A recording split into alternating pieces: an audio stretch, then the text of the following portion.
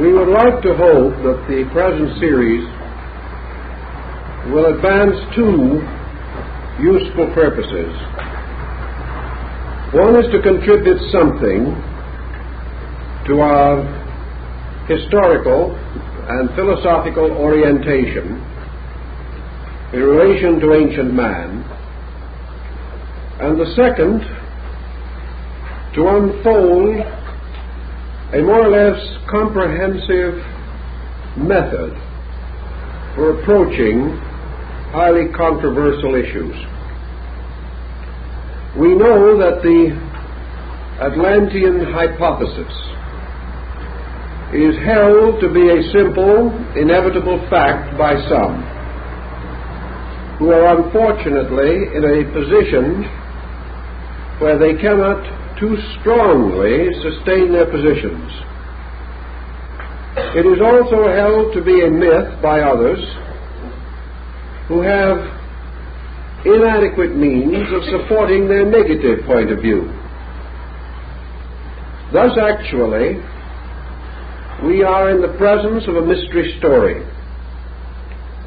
A story which must be examined in the weight of such evidence as is available, recognizing with Aristotle that rational evidence is acceptable in any learned group. In other words, the workings of the reasoning faculties can as truly and completely demonstrate a fact as so-called scientific method. Nearly all so-called scientific fact has either come from reasoning process or led to it. Therefore, the facts, apart from reason, lose most of their utility. But reason, if trained, may achieve facts not demonstrable on the level of academic observation or experimentation. Thus, we must try throughout this entire series to estimate our values, to gather such evidence as can be gathered, to interpret it with a largess of spirit which is consistent with good sense thoughtfulness, and thoroughness. We are not seeking to attain an easy believing, but also we are not interested in denying merely because others have denied, or doubting because doubts are fashionable. What then is our basic problem? This problem deals with the existence of a comparatively important culture group at a time which we would generally regard as prehistoric. Perhaps better we should say that this group stands in the dim dawn light between prehistory and history. The moment we begin to consider this period, we learn several important negative facts. The first is that in spite of our achievements in many branches of learning, we have not been especially successful in pushing back the boundaries of history. We divide the world now into two distinct groups or periods one historic and the other prehistorical. About prehistorical eras in general, we have a fair knowledge. We know something of the primitive man. We have the Piltdown skull, the Neanderthal jaw, and things of this kind uh, which tell us that at a remote period, the primitive ancestors of humanity lived upon this earth, struggled against the natural hazards of their times, fought monstrous animals, and perished into limbo, leaving but primary and rudimentary artifacts or remnants of their survival. By geology, we come to some knowledge, and uh, by the further aid of ethnology and anthropology, we have a picture of the remote world. We also have a fair picture of the modern world, from the rise of the civilizations of Egypt and those which flourished in the valley of the Euphrates down to the present time. It is this strange, shadowy interval between the prehistoric world and the historical world that we know that gives us the most baffling problem. We are unable to trace the emergence of civilized man as we know him. We are also confronted with a curious circumstance that historical research sustains. Namely, that for the most part, history is the continuing record of the collapse of systems, of cultures, the decay of peoples, the decline of nations, the disintegration of empires. History is almost an unbroken record of things dying, fading away, falling into neglect and oblivion.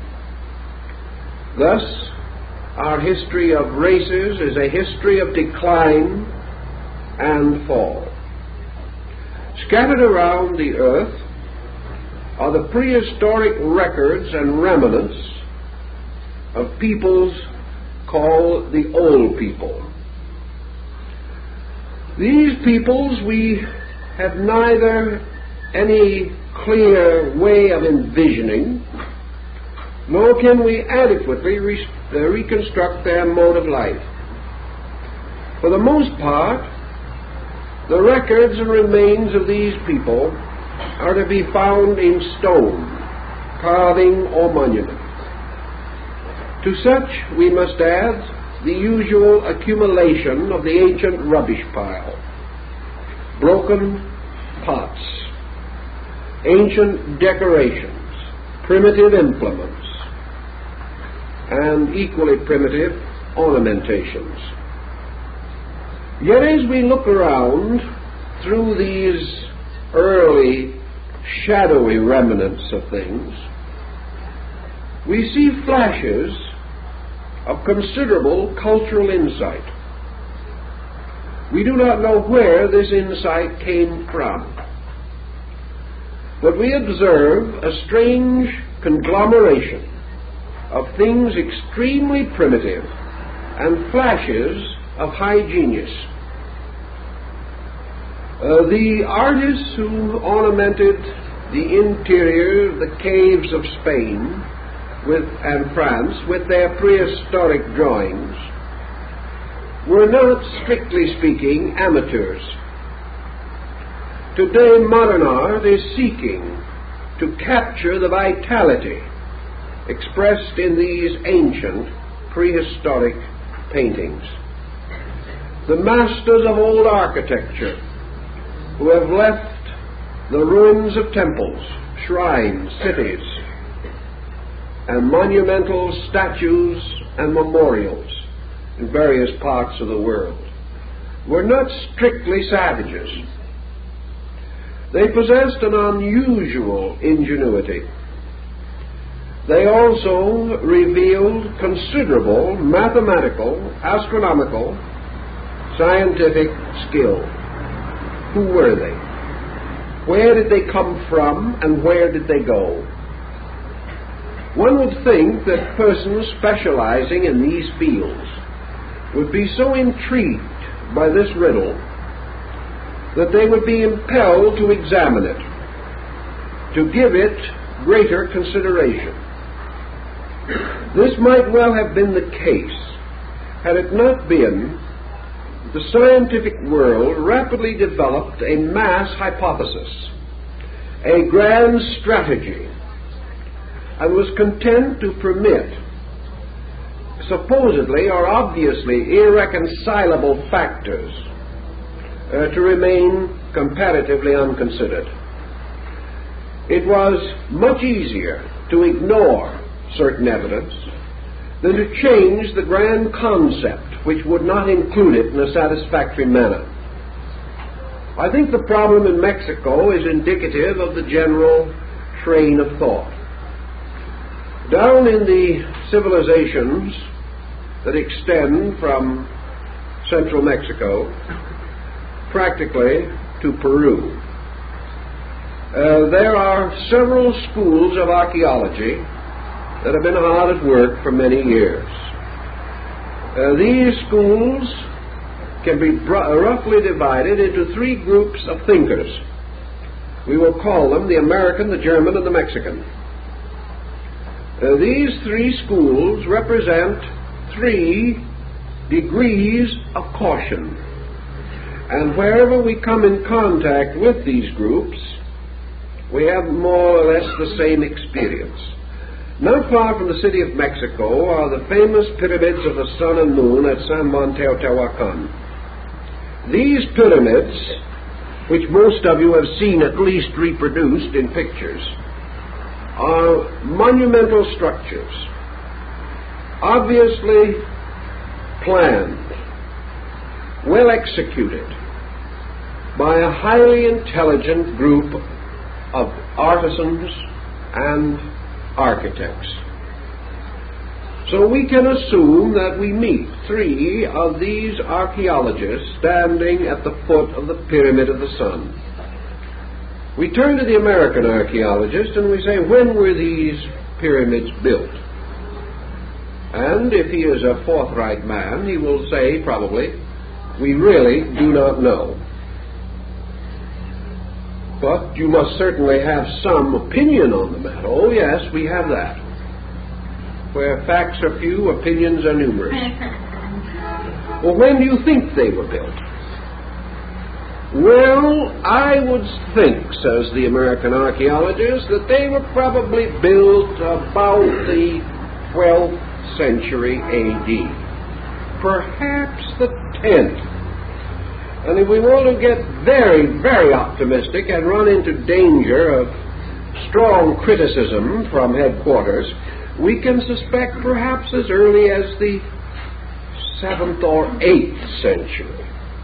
But certainly, they are post Christian in their monumental construction. But why do you say that?